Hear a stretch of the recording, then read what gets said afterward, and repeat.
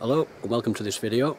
I'm making this video today because this caravan behind me here it's one that I use as a, a shed come work area and I'm stripping the insides out um, and this video is going to be used for advertising these parts for sale which are going to be put on eBay and various other places.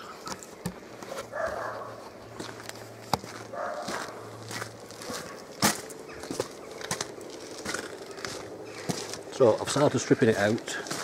Um, there's various things. I've got the settees out, I've got the cushions which I'm going to put on in a minute.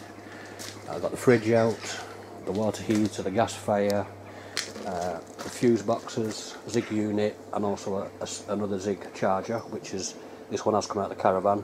This is one I had in a camper van.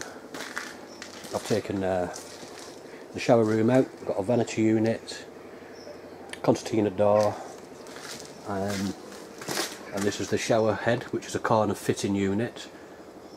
Shower tray and various drawers and cupboards and things.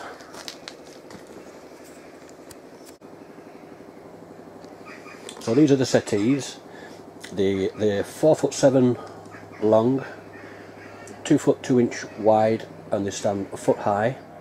There's two obviously and also the lats that go between the settees to make this into a double bed.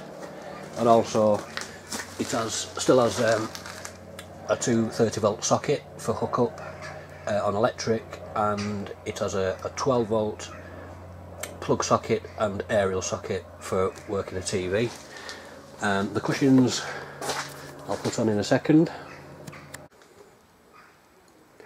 And this is what they looked like when they was in the caravan